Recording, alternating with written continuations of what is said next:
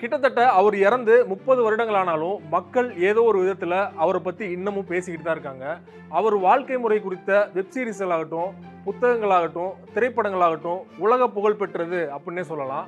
அது மட்டும் இல்லாமல் அவரை பற்றி நம்ம படிக்கும்போது மனுஷன் வாழ்ந்திருக்காண்டா இந்த மாதிரி வாழ்க்கையை நம்ம கனவுல கூட நினைச்சு பார்க்க முடியாது.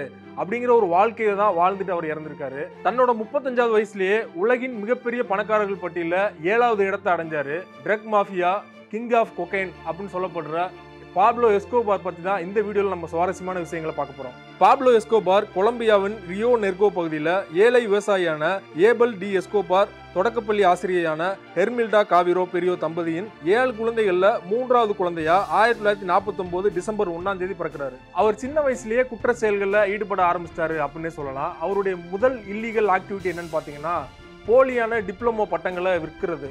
அது மட்டும் இல்லாமல் போலியான ரேங்க் கார்டுகளையும் தயார் பண்ணி விற்கிறாரு. அதன் தொடர்ச்சியா கல்லறைகளை திருடி அதை மறுபடியும் ரீசேல் பண்றாரு. இவருடைய முதல் கைது சம்பவம் என்னன்னு பார்த்தீங்கன்னா ஆயிரத்தி தொள்ளாயிரத்தி எழுபத்தி நாலுல நடக்குது. ஒரு காரை திருடி விற்கும் போது மாட்டிக்கிறாரு. அப்போதான் அவர் முதல் முறையாக கைது செய்யப்படுறாரு. சிறையிலிருந்து வெளில வந்தோடனே ட்ரக்ஸ் ஸ்மக்லிங்லேயே ஈடுபடுறாரு. ஆயிரத்தி தொள்ளாயிரத்தி எழுபதுகளின் மத்தியில் மெட்லின் கார்டல் அப்படிங்கிற ஒரு கிரைம் ஆர்கனைசேஷனோட சேர்ந்து செயல்பட ஆரம்பிக்கிறாரு. ஒரு கட்டத்தில் மெட்லின் கார்டலோட தலைவராகவும் மாறுறாரு. இந்த ஆர்கனைசேஷன் தான் உலக அளவில் கொக்கைன் பிஸ்னஸை டாமினேட் பண்ணாங்க அப்படின்னே சொல்லலாம். எந்த அளவுலனா வீக்லி நானூற்றி இருபது மில்லியன் டாலர் வந்து சம்பாதிக்க ஆரம்பித்தார் அது மட்டும் இல்லாமல் பாப்லோ எஸ்கோபாரை உலக அளவில் ஒரு மிகப்பெரிய பணக்காரராகவும் மாற்றுச்சு இந்த பிஸ்னஸ் நம்ம இந்த வீடியோவோட தொடக்கத்திலே ஒரு விஷயம் சொன்னோம் இல்லையா? மனுஷன் வாழ்றானே அப்படின்னு சொல்லிட்டு. அதற்கு உதாரணமாக கிட்டத்தட்ட இருபத்தஞ்சு பில்லியன் டாலரை சொகுசான வாழ்க்கைக்காகவே செலவு பண்ணியிருக்காரு. ஆடம்பர பங்களா பிரைவேட் ஜெட்டு அப்புறம் பிரைவேட் பார்ட்டி அப்படின்னு சொல்லிக்கிட்டே போகலாம். கொலம்பியாவிலிருந்து பனாமாவுக்கு தொடர்ச்சியாக விமானங்கள் மூலமாக டன் கணக்கில் கொக்கைனை இவரோட கடத்தல் கும்பல் கடத்த ஆரம்பித்தாங்க அமெரிக்காவில் தொடர்ச்சியாக கொக்கைன் தேவை அதிகரிக்கவே ஈக்குவடார் உள்ளிட்ட தென் அமெரிக்க நாடுகளிலிருந்தும் கொக்கைன் மூலப்பொருளை கொலம்பியா கொண்டு வந்து அதை பவுடராக்கி அமெரிக்காவுக்கு கடத்த தொடங்கினாங்க. அசாத்திய வேகத்தோட வளர்ந்த எஸ்கோபார் ஆயிரத்தி தொள்ளாயிரத்தி எழுபத்தாறில் பதினெட்டு கிலோ கொக்கைன் பேஸ்டோட கொலம்பியா விமான நிலையம் வந்தபோது கைது செய்யப்படுறாரு. அந்த வழக்கிலிருந்து விடுபட அவர் கைது செய்த அதிகாரிகளாகட்டும் எல்லோருக்குமே லஞ்சம் கொடுக்க முற்படுறாரு. ஆனால் அதுக்கெல்லாம் மறுக்கிறாங்க. அதை தொடர்ந்து அவரை கைது செய்த விசாரணை அதிகாரிகளாகட்டும் விசாரணை நீதிபதிகளாகட்டும் தொடர்ச்சியாக கொலை செய்யப்படுறாங்க. அதனால அவர் மீது போடப்பட்ட வழக்குகளும் வாபஸ் செய்யப்படுது. கிங் ஆஃப் கொக்கைனா மாறிய பாப்லோ எஸ்கோபார் ஆயிரத்தி தொள்ளாயிரத்தி எண்பதுகளில் கொலம்பியா நாட்டோட கடன் அடைக்க பத்து பில்லியன் டாலர் ஆஃபர் பண்றாரு. அதுக்கு என்ன காரணம் கேட்டீங்கன்னா அவரை வந்து கொலம்பியால இருந்து எந்த நாட்டுக்கும் நாடு கடத்தக்கூடாது அப்படிங்கிறது தான் இந்த இடத்துல நம்ம ரெண்டு சுவாரஸ்யமான நிகழ்வுகளையும் பார்க்கலாம். ஆயிரத்தி தொள்ளாயிரத்தி தொண்ணூத்தி ரெண்டு தொண்ணூத்தி மூணு காலகட்டத்தில் கொலம்பியால இருந்து அவரோட ஃபேமிலியோட தப்பிக்கிறாரு. அப்போ ஒரு இடத்துல அவரோட குழந்தையோட குளிர போக்குறதுக்காக சுமார் ரெண்டு புள்ளி ஒன்று மில்லியன் டாலர் வந்து எரிச்சு அவரோட குழந்தைய குளிர போக்கியிருக்காரு. அதே போல அவருடைய தம்பி போலீசாருக்கு அளித்த வாக்குமூலத்துல பத்து பர்சன்டேஜ் கிட்டத்தட்ட ரெண்டு புள்ளி ஒன்று பில்லியன் டாலர்ஸ் வந்து அவர்கள் மறைச்சு வைக்கப்பட்ட இடத்துல இருந்து எலியால நாசமாக்கப்பட்டிருக்கு. ஒரு மிகப்பெரிய லாவிஷான வாழ்க்கை முறை வாழ்ந்த எஸ்கோபார் அவர் சம்பாதிச்ச பணத்தை முழுமையா அவரால் செலவு பண்ண முடியல அப்படின்னே சொல்லலாம். அது மட்டும் இல்லாமல் அவர் நிறைய பணத்தை வந்து நிறைய இடத்துல பதுக்கி வச்சிருக்காரு. அதுவும் மண்ணால வீணடிக்கப்பட்டிருக்கு. அது மட்டும் இல்லாமல் நிறைய பணங்கள் காணாமலாக்கப்பட்டிருக்குது. இப்படி வீணடிக்கப்பட்ட பணங்கள் மட்டும் ஏகப்பட்ட பில்லியன் அப்படின்னு அவர் தம்பி சொல்லியிருக்காரு.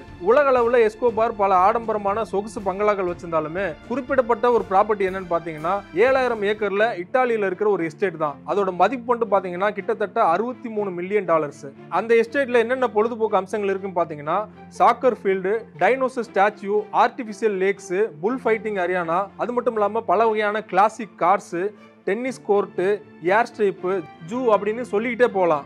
அந்த எஸ்டேட்டோட முகப்பில் இவர் முதல் முதலாக ட்ரக் கடத்தலுக்கு பயன்படுத்தப்பட்ட ஏரோப்ளேனையும் வச்சிருப்பாரு. பின் நாட்களில் அங்கே இருக்கிற லோக்கல் மக்களால் அந்த ஏரோப்ளேன் திருடப்பட்டது அப்படின்னு சொல்லப்படுது. அது மட்டும் இல்லாமல் இப்போது அது முக்கியமான ஒரு டூரிஸ்ட் ஸ்பாட்டாகவும் மாறிடுச்சு. உலக நாடுகளை பொறுத்த வரைக்கும் இவர் ஒரு ட்ரக் மாஃபியாவை அறியப்பட்டாலும் உள்ளூர் மக்களை பொறுத்த வரைக்கும் இவர் ராபின் ஹுட்டா தான் அழைக்கப்படுறாரு. அதுக்கு என்ன காரணம்னு கேட்டிங்கன்னா பல ஹாஸ்பிட்டல் கட்டியிருக்காரு ஏழ்மையான குடும்பங்களுக்கு வீடு கட்டி கொடுத்துருக்காரு ஃபுட்பால் ஸ்டேடியம் கட்டி கொடுத்துருக்காரு ஃபுட்பால் டீமுக்கு நிறைய ஸ்பான்சர் பண்ணியிருக்காரு. இப்படி சொல்லிக்கிட்டே போகலாம் அவர் பண்ண விஷயங்களை. ஆயிரத்தி தொள்ளாயிரத்தி எண்பத்தி ரெண்டாம் ஆண்டுல கொலம்பியா நாட்டு மக்கள் மத்தியில் இவருக்கு இருக்கிற பாப்புலாரிட்டியால காங்கிரஸ் கட்சியோட நாடாளுமன்ற உறுப்பினராகிறாரு. கிட்டத்தட்ட இரண்டு ஆண்டுகளுக்கு அப்புறமா இவர் மேலே இருக்கிற கிரிமினல் குற்றச்சாட்டுகளுக்காக அந்த பதவியிலிருந்து இறக்கப்படுறாரு இவர் அந்த பதவியிலிருந்து இறக்கிய அந்த நாட்டு சட்டத்துறை அமைச்சரும் பின்னாட்களில் கொலை செய்யப்படுறாரு. பாப்லோ எஸ்கோபாருக்கு ஒரு பிரச்சனை வருதுன்னா அதை சமாளிக்கிறதுக்காக சில்வரை லஞ்சமாக கொடுக்குறாரு. அப்படி அந்த சில்வரை லஞ்சமாக ஏற்க மறுக்கிறவங்களுக்கு புல்லட்டை தான் பரிசாக கொடுக்குறாரு. இப்படி கிட்டத்தட்ட நான்காயிரம் பேர் இவரால் கொலை செய்யப்பட்டிருக்காங்க. அதில் முக்கியமான police officers judges government officials அவங்களும் அடங்குவாங்க. ஆயிரத்தி தொள்ளாயிரத்தி எண்பத்தொம்போதில் ஒரு கவர்மெண்ட் இன்ஃபார்மெண்ட் இவருக்கு எதிராக வந்து ஒரு தகவல் சொல்றாரு சொல்லிட்டு அவர் பயணித்த விமானத்தையே வெடி வைத்து தகர்த்திருக்காரு. அதுல கிட்டத்தட்ட நூறு பொதுமக்களும் இறந்திருக்காங்க. ஆயிரத்தி தொள்ளாயிரத்தி தொண்ணூத்தி ஒன்றாம் ஆண்டுல எஸ்கோபார் வந்து சரணடைய முற்படுறாரு. அதற்கு அவர் வைக்கிற டிமாண்ட் என்னன்னு பாத்தீங்கன்னா உங்களோட சிறையிலலாம் இருக்க மாட்டேன். நான் எனக்குன்னு ஒரு தனியா ஒரு சிறையை கட்டிப்பேன். அதுல தான் நான் இருப்பேன் அப்படின்னு சொல்றாரு. இன்னொரு ஆச்சரியமான விஷயம் என்னன்னு பார்த்தீங்கன்னா அதற்கு அந்த நாட்டு கவர்மெண்ட்டும் ஒத்துக்கிறாங்க. வெளியில எப்படி ஒரு ஆடம்பரமான வாழ்க்கையை வாழ்ந்தாரோ அதே போலதான் சிறைக்குள்ளேயும் ஒரு சொகுசான வாழ்க்கையை தான் வாழ்ந்தாரு. அவருக்கு கிடைக்காதது எதுவுமே இல்லை. உள்ளேயே வந்து பாத்தீங்கன்னா ஒரு சாக்கர் ஃபீல்டு டெலிஃபோனு கம்ப்யூட்டர் அப்படின்னு சொல்லிட்டு அவர் பிசினஸ்க்கு தேவையான எல்லாமே உள்ளே கிடைக்க ஆரம்பிச்சது. அப்போதான் வந்து ரெண்டு கார்டல் ஆபீசர்ஸ் அவர் கொலை பண்ணோன்னு தான் அவர் அந்த சிறையில இருந்து வேற சிறைக்கு மாற்ற முயற்சி பண்றாங்க. அப்படி அவரை மாற்ற முற்படும் போது ஜூலை ஆயிரத்தி தொள்ளாயிரத்தி தொண்ணூத்தி ரெண்டாம் ஆண்டு தப்பிக்கிறாரு. ஒரு பக்கம் போலீசார் வந்து அவரை தீவிரமா தேடிட்டு இருக்காங்க. இன்னொரு பக்கம் ஆயிரத்தி தொள்ளாயிரத்தி தொண்ணூத்தி ரெண்டு டிசம்பர் ரெண்டாம் தேதி அவரோட நாற்பத்தி நாலாவது பிறந்தநாள கேக் ஒயின் மாரிதானான்னு சொல்லிட்டு ரொம்ப பிரம்மாண்டமாக கொண்டாடிட்டு இருக்காரு. மெட்லின்ல அவர் தங்கியிருந்த இடத்த போலீஸ் ஆபீசர்ஸ் கண்டுபிடிக்கிறாங்க அதற்கு மறுநாள். அப்போ அவரோட அந்த பில்டிங்கோட ரூஃப் டாப்புக்கு அவரோட பாடி கார்டோட வரும்போது அங்க சுத்தி இருந்த போலீஸ் ஆபீசர்ஸ்லாம் அவர் மீது சூட் அவுட் பண்றாங்க. இவரும் திரும்ப போலீஸார திரும்ப தாக்குறாரு. அந்த சூட் அவுட்ல இவர் சுட்டு கொல்லப்படுறாரு. பாப்லோ எஸ்கோபார் நல்லவரா அயோக்கியரா அப்படிங்கிற விவாதம் உலகம் முழுவதும் தொடர்ச்சியா நடந்துகிட்டே தான் இருக்குது. ஆனால் அவரோட வாழ்க்கை முறை வந்து ஒரு சுவாரஸ்யமானது அப்படிங்கிறத யாராலும் மறுக்க முடியாது.